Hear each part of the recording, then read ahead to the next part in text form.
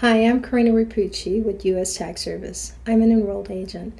Enrolled agents are licensed by the United States Treasury to represent taxpayers across the United States. I have 30 years' experience in this industry.